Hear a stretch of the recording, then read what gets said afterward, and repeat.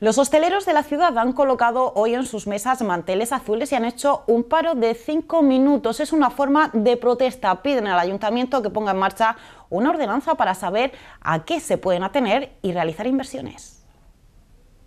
Desde hace cuatro años se viene hablando de una ordenanza que regule el sector hostelero, pero de momento no hay nada. Toda la región se ha adaptado a la ordenanza de ruidos menos Cartagena.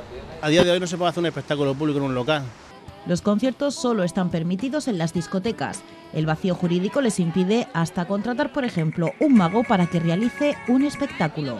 Además, trabajan con la incertidumbre de no saber si pueden hacer o no inversiones porque las normas cambian de un día para otro. Un ejemplo son las cruces de mayo. Hace tan solo una semana que el ayuntamiento les dijo qué podían hacer. Un tiempo que para los hosteleros es insuficiente para planificar unas fiestas que atraen cada vez a más público.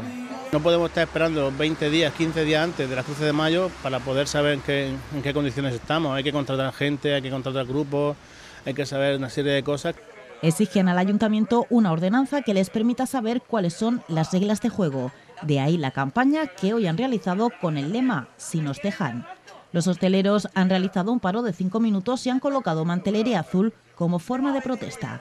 El ayuntamiento, de momento, no ha dicho nada. No han dado respuesta de nada, ni no han preguntado si el motivo de esto. La protesta, promovida por Ostecar, pretende mostrar la unidad del sector. Quieren que se les permita trabajar.